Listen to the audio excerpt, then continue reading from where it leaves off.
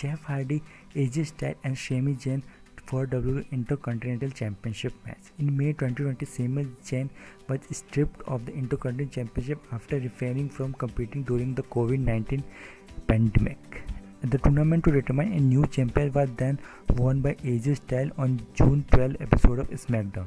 Jeff Hardy then defeated AJ Styles to win the title on August 21 episode.